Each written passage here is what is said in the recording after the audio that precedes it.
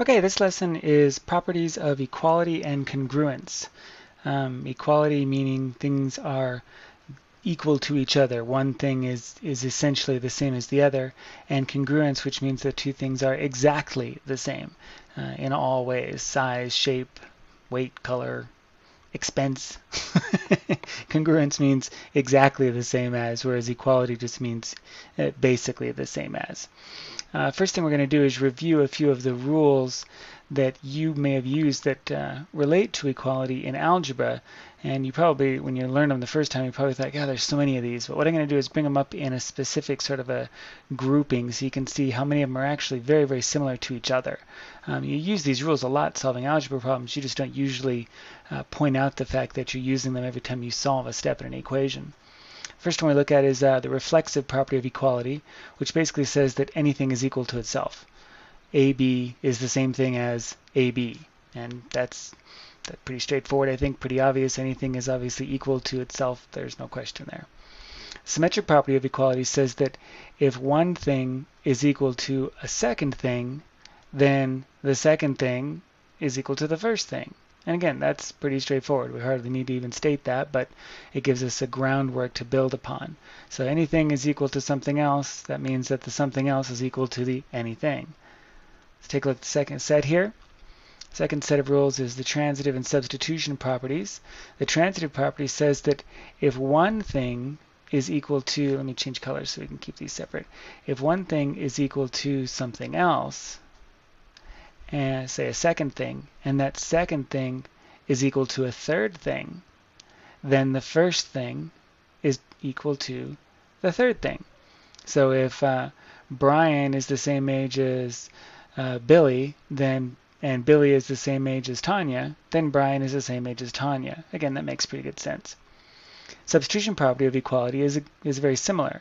It says that if one thing is equal to a second thing, and the first thing, let's number these. If one thing is equal to a second thing, and the one thing, if you do something to it, is equal to a third thing, then if you take the second thing, which is the same thing as the first thing, and do the same thing to it, you get the same third thing. So if A is the same thing as 9, and a minus c is 5, then 9 minus c must be 5, because a and 9 are the same thing. Then for our second grouping of rules, these are all the operational properties of equality. Basically, it says if you do the same thing to both sides of an equation, it stays equal. And that's really what all these different rules, there's four different rules, one for each operation, but the rules are the same. They basically are just that, that statement. As long as you do the same thing to both sides, you can do it, and both sides will maintain their equality. And then finally, our last sort of kind of loner rule sits off by itself as a distributive property, which says that if you're taking a group of things, in this case 2x minus 7, and multiplying them by something else, in this case 5, that the group of things multiplied by 5 is the same as each of the things in the group multiplied by 5, 2x and 7, and then whatever you were doing to those two things inside the grouping, done to the two things after they're multiplied.